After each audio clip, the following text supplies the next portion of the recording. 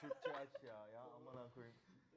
Bu ne amık diye geldim ya ben. Merhaba ne demek? Merhaba. Hani Ya ben bu videoyu izledim. İnsanlar demiş yok ırkçı, yok borla dalga geçmiş bilmem ne. Berkcan'ı bu aralar çok sevmediğimi söyleyebilirim. Ama şunu söyleyeyim abi. Bunun adı dark humor. Yani bu kara mizah.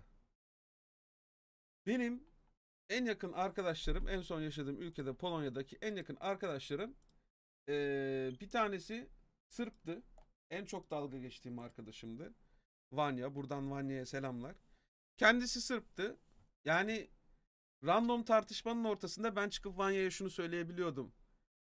Ulan vaktinde nasıl koyduysak 500 yıldır hala Türkler bize eziyet etti diye türkü söylüyorsunuz. Sene olmuş, yıl olmuş, 21. yüzyıla gelmişiz. Amına koyayım diye taşak geçebiliyordum. Gülüp geçiyorduk abi biz buna mesela. Buna biz gülüp geçiyorduk. Oh yeah.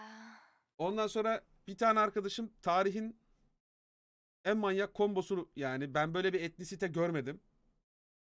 Adam İsrailli, Arap, Hristiyan. Yani görüp görebileceğiniz en ilginç etnik kökenlerden birine sahip herif. Her yeriyle dalga geçiyordu. Ha ben Hosam'ın sikilmedik yerini bırakmadım. Her şeyiyle her yeriyle dalga geçtim. Her yeriyle ama çok ağır yayında söyleyemem. Öyle böyle dalga geçmedim ya. Çıldırırsın yani. Gülüp geçiyorduk abi. Çünkü yani eee, tarihte evet sert badireler yaşanmış olabilir.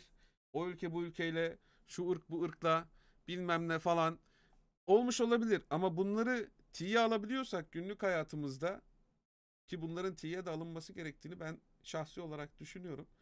Çünkü günümüzde 21. yüzyılda doğmuş bir insanın bilmem 500 yıl önce 600 yıl önce atalarım arasında yaşanmış bir olayla hiçbir alakası olmadığını ben biliyorum. IQ'm 30'dan yüksek Allah'a şükür. O yüzden bunları biraz tiye alabilirsek ne olur? Aradaki o gerginlik varsa da sıfıra düşer. Bu kadar basit.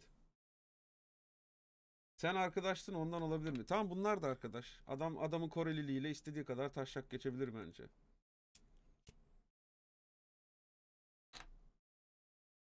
Bu kadar basit.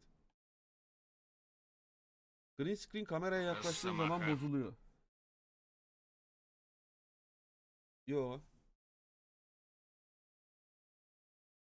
Abi Dealer's Life yok. Bitirdim oyunu. Bitirdim. Sabah 8'de bitti dün. 7'de mi 8'de mi ne bitti? Komandocu bir çayın mübarek olsun kardeşim. O atan hoş geldin.